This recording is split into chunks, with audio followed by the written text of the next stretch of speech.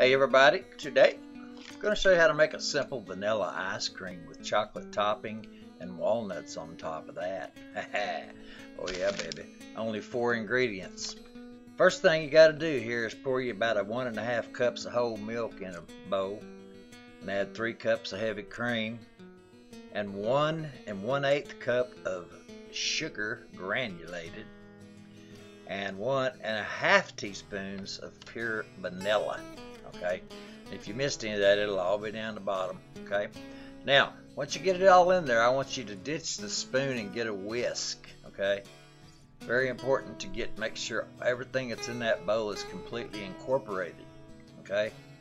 Now see uh, as I'm pouring this milk into the ice cream maker here you see the sugar that's coming out of that that should have been mixed in real well with the rest of the mixture okay? Luckily I have a good ice cream maker that you know mixed it all up real good for me and made ice cream.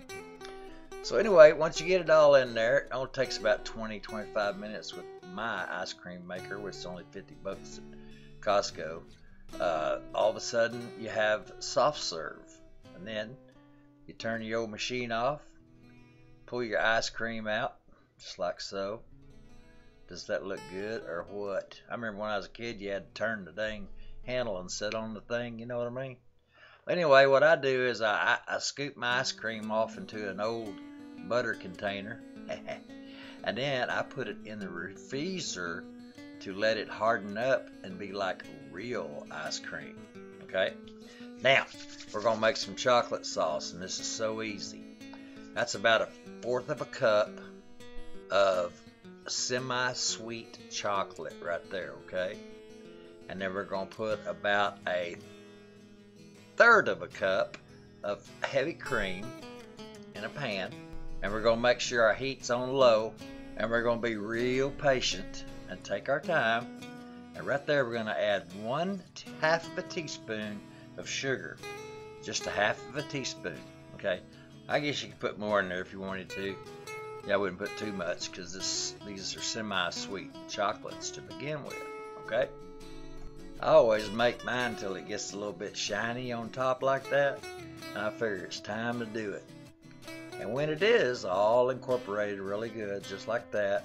Once you take your little jar, that's a that's a half of a pint right there. That's what it made. And pour it into a jar, okay, and then keep it in your refrigerator. But first, we got to come out with that vanilla ice cream we made. And folks, I'm telling you, this was a hit. Of course, it's just me and the wife here, you know.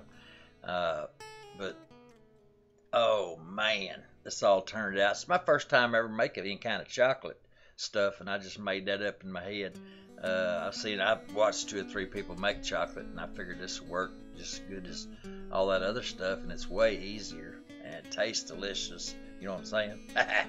anyway, folks, I'm gonna do a, throw me a few walnuts on here, break you up a few walnuts, you know.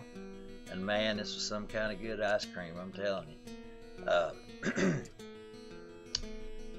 well, we're into 2014, y'all, and uh, gonna be a busy year for us, I'm hoping. And I really appreciate all you folks that are subscribing and watching my videos. I really do appreciate it. And if you tell your friends, I would appreciate it also. You know what I'm saying? but anyway, I could have just sat here and ate that whole dang bowl of ice cream for you, but you know, I know I can't do that. So. Y'all subscribe and like and comment. I sure do like hearing from you. And y'all have a really good day. Bye.